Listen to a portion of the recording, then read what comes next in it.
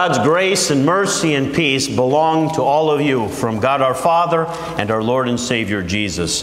Amen. Today we're going to talk about Jesus Christ as our King in our second lesson from Colossians chapter 1, beginning here at verse 13. For He, God the Father, has rescued us from the dominion of darkness, and He's brought us into the kingdom of the Son He loves, in whom we have redemption and the forgiveness of sins. Jesus, then, is the image of the invisible God, the firstborn over all creation, for by him all things were created things in heaven, things on earth, visible, invisible, whether thrones or powers or rulers and authorities, all things were created by him and for him. He is before all things, and in him all things hold together. And he is the head of the body, the church he is the beginning and the firstborn from among the dead, so that in everything he might have the supremacy. For God was pleased to have all his fullness dwell in him, and through him to reconcile to himself all things, whether things on earth or things in heaven, by making peace through his blood shed on the cross. These are the words of God. In the name of Jesus Christ, our King, my dear Christian friends,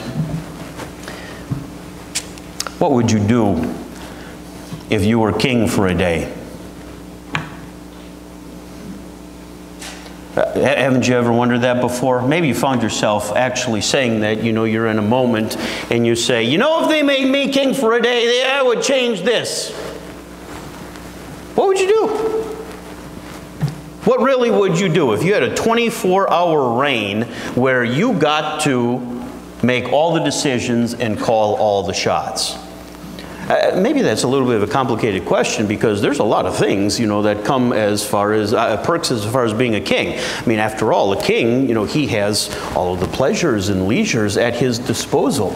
And so would you use your 24 hours to take advantage of, you know, the perks of being a king, the fleshly satisfactions? You have the harem, you have probably your own cook, you have all the finest choice wines and foods at your disposal. You want some entertainment, snap your fingers. You can have music, you can have dance, you can have shows, you can have plays, you can have jesters or comedians. You can have anything you want. You can invest your you can invest your 24 hours satisfying the fleshly things.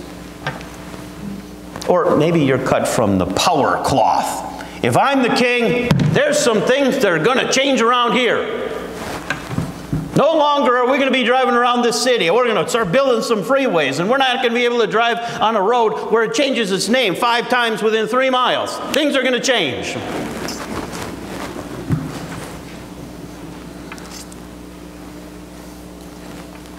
If you had the absolute authority, are you going to write the, ping, the, the, king's pen and sign into law dictates and issues and decrees? Are you going to go environmental? Are you going to say we need to recycle and conserve water and we need solar power and people need to co conserve more? I mean, what are you going to do? What are you, you're the king. You're the king. What are you going to do? Some enterprising person in here invariably has to come up with this one. This is usually the one the teens come up with. If I were the king, I would wire transfer all the treasury into my personal checkbook. so that when my 24 hours is done, it's still all mine. And they're always very sad when you point out, well, that's all well and good until the next king for a day comes in the next day and takes it from your checkbook and puts it in theirs. Doesn't it all illustrate why it's, it's a really bad idea to make me a king for a day and probably a really bad idea to make you a king for the day? Because we'd act selfishly. We'd act probably in our own best interest. We'd satisfy our own cravings, or if we made decrees or issues or dictates, you know, we're going to make the things that really aggravate us, the pet peeves. We got a list of peeves, and we're going to take care of all that when we're a king for a day. Is that what makes a good king? Satisfying the list of pet peeves? No. Isn't it true that if you're actually going to be a useful king, you have to put your arrogance aside and in humility serve your constituents? Isn't it true that if you're going to be a king, you have to act in the best interests of your people? Which is why in human history there haven't been a whole lot of very good kings, have there been? Because they're all corrupted by the power, or they want the fame, or they want the fortune, or the treasury, or the lust. I mean, how many good kings have you had in human history? What are they known for? Imperialism. We've expanded the kingdom. My soldiers are stronger than your soldiers, and I can do some empire building. What have kings in history done? They've built things out? Really? Builders. That's why we remember people in history? Because they make hanging gardens or a fancy zoo? This is what we want our king. And then we sit here today and we say, Well, I've never seen the wonders of the world. They don't look so fancy to me. And you know, you kind of look at the pyramids and you say, Meh, okay, scratch it off the bucket list. But it doesn't really do much for me. Don't you need something more? Perhaps that's why the Apostle Paul speaks as he does in our text today. Because when you compare the things that we value about earthly kings, it's so vapid, it's so passing, it's so limited, and honestly, it's so tied to selfishness and greed and lust and, and, and money and power and corruption that eh, you kind of, you, you almost come away saying, I'm not sure I even want the job. Not so with King Jesus.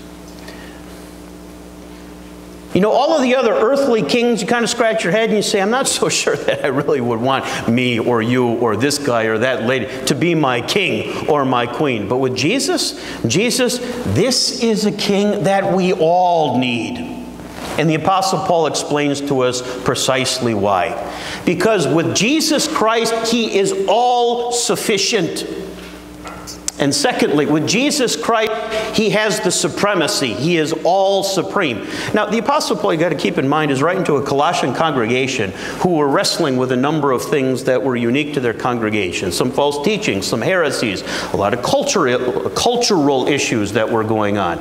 You see, part of the thing that the Colossians were wrestling with is, is they were buying into Christianity, but they were buying into Christianity and Jesus as one option of many. And frankly, they thought that they could believe in Jesus, but they, they were kind of taking the attitude that he can be blended together with a lot of the thoughts and teachings that were going on in their culture at the time. So you take a little bit of Roman mythology, you take a little bit of a Greek philosophy, and you mix it together with kind of the conventional wisdom at the time, and you know, Jesus can kind of be blended together with all of these other things. And the Apostle Paul, as he writes, and maybe this is kind of connecting with you from what we read just a little bit ago, is kind of pounding the table and he's saying, No, no, no. You do not blend Jesus together with everybody else and he is one king marginalized side by side with human wisdom. No, no, no. Jesus Christ is a king that we all need, exclusively so. Get rid of all of those other imposters and don't blend Jesus together with any other kind of thing.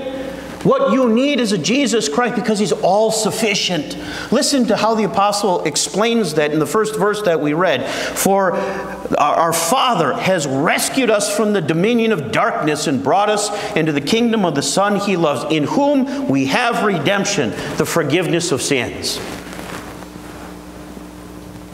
What Jesus Christ, our King, has done. He's rescued us.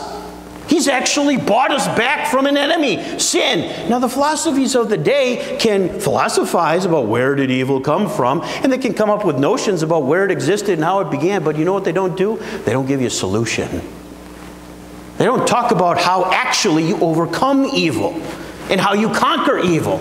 Paul says that this Jesus Christ, King Jesus, is all sufficient as the king you need because he actually rescues you from the power of darkness and he brings you into the kingdom of Jesus Christ, the Son he loves. He buys you back from sin when he died on the cross to forgive you. Look what he said In Jesus we have redemption and the forgiveness of our sins. Mythology didn't offer that whether it was Greek or Roman. The philosophers had no such thing. There was no conventional wisdom. Only with King Jesus do you have an all sufficient solution to the problem of devil and darkness and evil and sin. And the Apostle Paul says this is why you hitch your wagon to Jesus Christ and you get rid of all the other stuff because Jesus Christ is a king all by himself. He is all sufficient. You probably understand that it's not just the Colossians who have to wrestle with these sorts of things. I mean, the devil is just as well alive today as he was back in the days of the Colossians. And he wants to tempt and lure and dupe you into thinking that Jesus in your heart and in your life can be shared. And he can stand side by side with conventional wisdom. And I'll have my Jesus, but you know, my, my horoscopes and those things, I, those things are still, you know, what I, I need to consult for, for daily advice and wisdom. It's Jesus and, see? I'll take Jesus, but I still like my, my meditation and my yoga. I'll take my Jesus, but I like to mix them together with, you know, a variety of other things. Progress, right? We're, we're much more enlightened today now than we've ever been. And Jesus is one part of my religious experience who is blended together with many other things.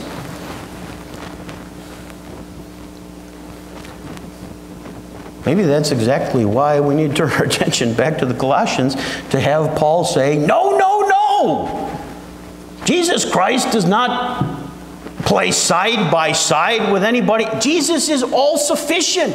There is nothing else in our day and age today, neither was there in the day and age that the Colossians lived, in which Jesus is, is side by side as though he's a buddy or a partner with any of these other things. It's only Jesus Christ who died on the cross. It's only Jesus Christ who came out of heaven. It's only Jesus Christ who paid, made satisfaction for sin. It's only Jesus Christ who brought us into the kingdom of the Son he loves. It's only Jesus Christ who made redemption and opened the kingdom of heaven to us. And what the Apostle Paul would say to you and me today is exactly what he said to the Colossians Jesus is the only king we all really need, and he is sufficient for all of our daily needs. Probably the reason why Paul makes the case that he does, that Jesus Christ is all sufficient, is because of what he unfolds in the second half of our devotion this morning.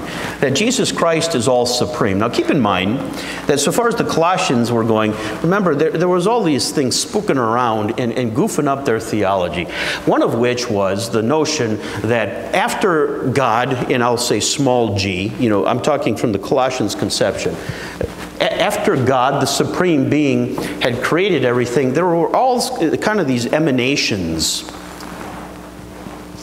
Um, maybe for lack of a better term, this is kind of uh, difficult to understand what they were wrestling with. But there were these emanations. There was kind of like these middle beings. The, we'll call them maybe angels is maybe the closest uh, approximation that we would have. And, and those middle beings or angels were responsible for the destinies and the fate of human beings. See? And so back in the days of the Colossian, this popular notion or this popular belief then was that you would actually have to bow down and bend the knee and appease, you know, those middle beings or those angels or those emanations. And you got to make them happy. After all, I, you know, they're responsible for your destiny. And so the way the Apostle Paul addresses that sort of thing, to kind of rip that stuff out of their hearts and say you drop it at the door and you leave it behind, is talking about the all supreme nature of Jesus Christ. He says Jesus is the image of the invisible God and the firstborn over all creation. You see what the Apostle Paul says? There's not even a logical argument. We're not even going to take a theological argument. There's not even a logical argument for you to put Jesus side by side. Because even if what you Colossians suggest is true, that there's these middle beings or these angels that you need to bend the knee to, they're still created. But Jesus Christ is the creator. He is God Himself. He's not a representation of God. He is God Himself. He's the exact image of God. So, why would you pull Jesus down and put Him side by side and mix Him with, anything else when He's supreme? He goes on in verse uh, 16 and said, By Jesus, all things were created things in heaven, things on earth, visible, invisible, whether thrones. Now, now, these are a description in the Bible here about angels. These words refer to angels. Thrones, powers, rulers, authorities. These were all created by Jesus and for Jesus. You see the argument that the Apostle Paul is unfolding? Jesus is supreme to everything in all creation.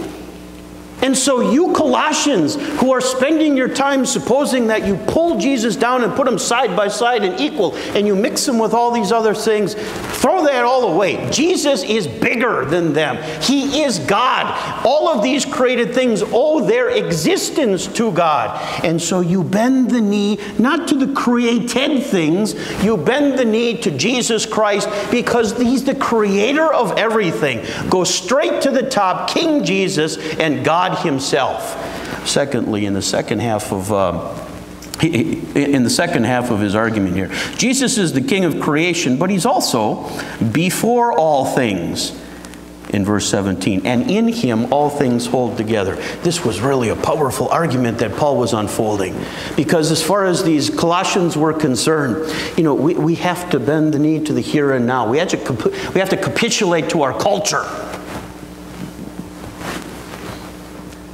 You see what Paul is explaining? Really? You, you want to drag Jesus down to be like a contemporary solution?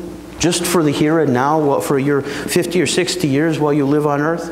And, and you want to maneuver him and shape him into being whatever your mind desires? Jesus is eternal. He's before all things. He existed before anything else was created. You see why this is a God, this is a king that we all need? Because he precedes us, he precedes creation. He existed before anything else did. And so the kingdom that he establishes is also eternal. It's not contemporary. It's not for the here and now. It existed before you. It will exist after you.